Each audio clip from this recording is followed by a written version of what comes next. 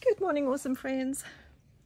It's a grey day here in the garden route, and today I'm going to show you a technique using embossed sheets of 70 micron metal tape, and I hope you're going to enjoy it with me. so, the first card that I prepared is this little one, and I'm going to explain it a little bit later. But in the meantime, I wanted to show you what you can do to prepare for the second one.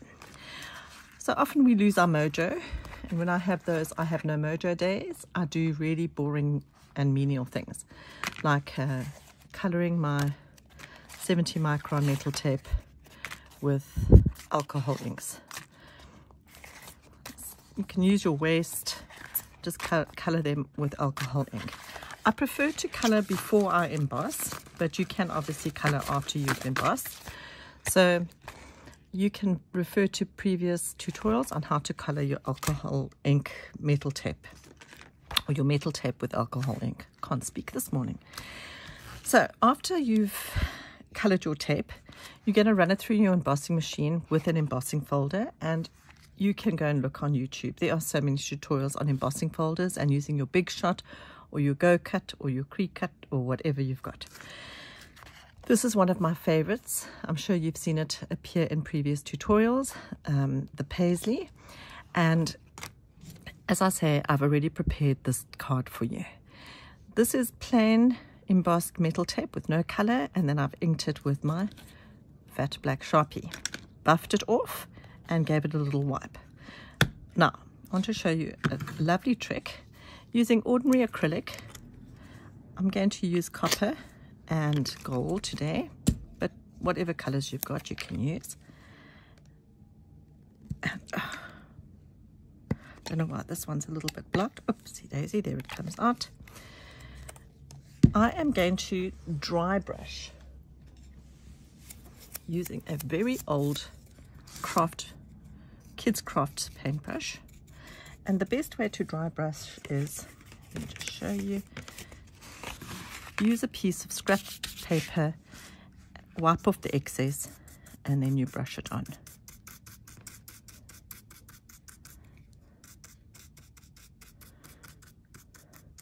And the reason why you dab it is so that you don't have blobs of paint. You just want it to stick on the raised areas. Okay, and then let's try a touch of gold.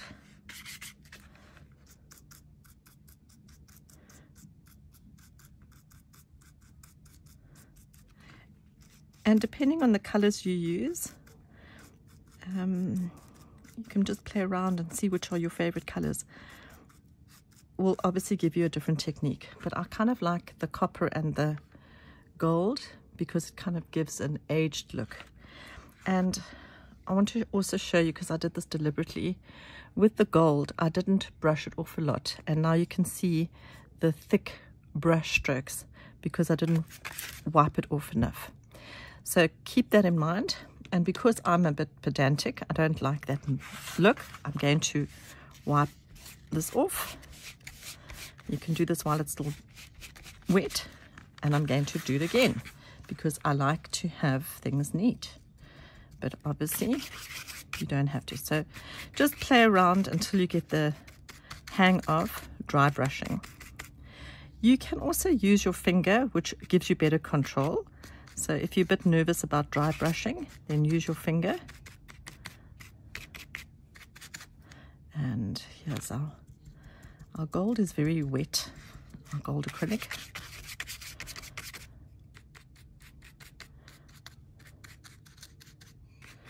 I prefer that because you don't see the brush strokes. But yeah, play around and see what you like. Much better don't you think? Maybe a little touch more of the copper. Now, the other thing you can use if you don't have acrylic are all these fancy waxes that you get, you know, for your other projects. Waxes work really well, so, you know, give those a try. And just experiment with different mediums and find what you like. And if you're trying something new, please share it with us so we can also learn from you. So I love the, the age look on that card. It's very subtle and but pretty. So we've done that one with the brush. Now I'm going to try this one. I haven't put it onto a card yet, but I'm and I haven't inked it either with black with black marker. But let's see what comes up here.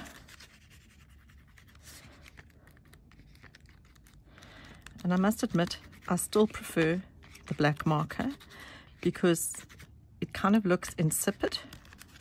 And I'll show you now without. It's as if the gold paint doesn't show so well. And I'll put a little bit of this. I just want you to see the, the difference.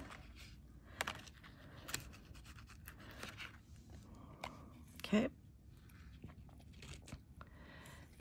With the black marker, without the black marker. Makes a heck of a difference. So again, don't like this wipe it off while it's still wet. Color with our black Sharpie. The black Sharpie, honestly, is the, a winner for me. It gives your project depth. Obviously, you can use black acrylic as well, but don't forget the black. Okay, I'm just going to let that dry a minute. In the meantime, here I have my alcohol, red alcohol ink. I used red and pink on my 70 micron tape and I put it through the embossing machine and I have this lovely pattern and now to stick it on an ATC. I don't want to waste it because I can use, oh, pardon me, I can use the other piece for another project. I'm very mindful. So while you girls and guys are all busy having fun, I'm preparing for a ladies' tea for 300 ladies. And it's on the 3rd of June. And we will be making 300 metal tape bookmarks as gifting. So I'm a bit busy behind the scenes. Okay, placing our ATC directly on the card and because we're working with the 70 micron tape it is easier to cut it than to with scissors than to use a craft knife I find the craft knife hooks on the embossed areas so I prefer to use a pair of scissors to trim the edges here we go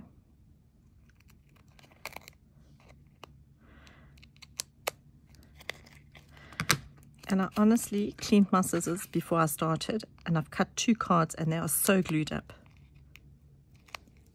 Okay. Look at this.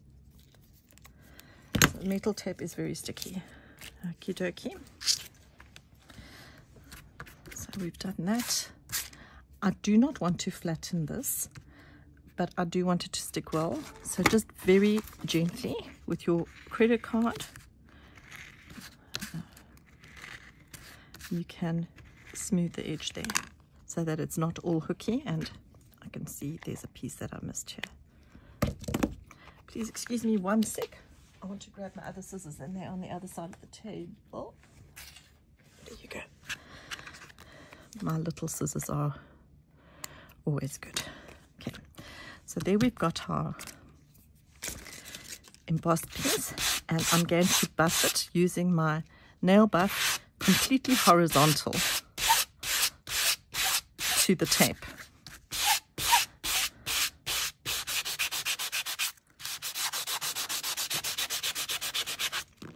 And it really makes the design pop.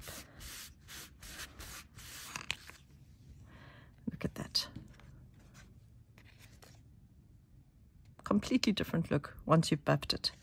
So yeah, pull out that embossing machine of yours and give this a try. Okay, so now we finished. This is dry. Also going to emboss the ink off, black sharpie.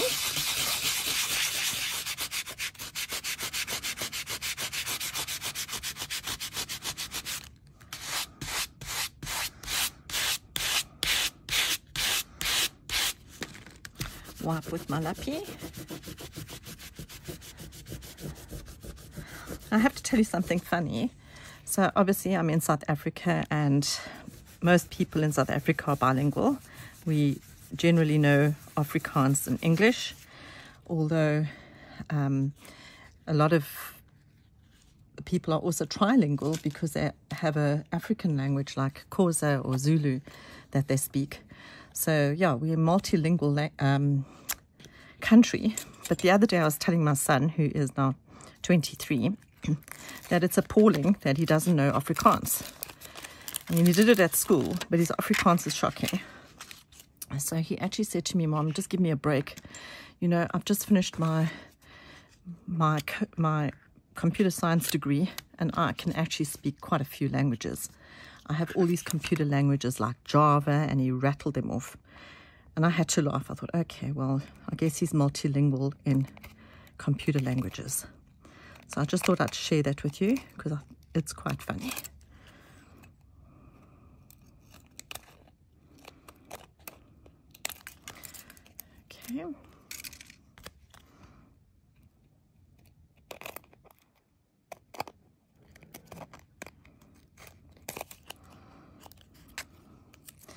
And for the South African um, friends, I do sell these embossed sheets. So if you're interested, you know, just drop me a message. Um, I have about 40 or 50 designs, can't remember offhand. So if you're looking for something for a project, let me know. So we've now once again um, inked it and I'm going to use my card again and with the finger we are going to add a little bit of acrylic or wax. It just gives this lovely aged look to your project. I must admit I am so fond of this copper. Copper for me is just gorgeous.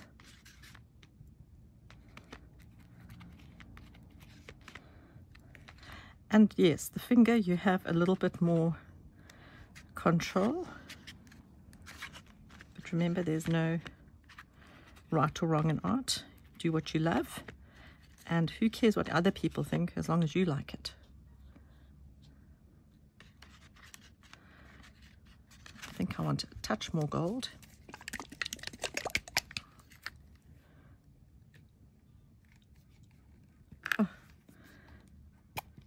Sorry, I don't know why this nozzle's blocked of the gold.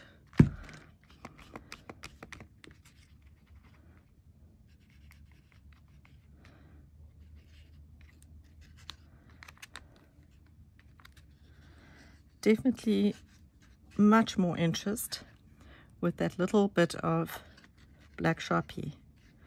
I'll put a bit too much on there.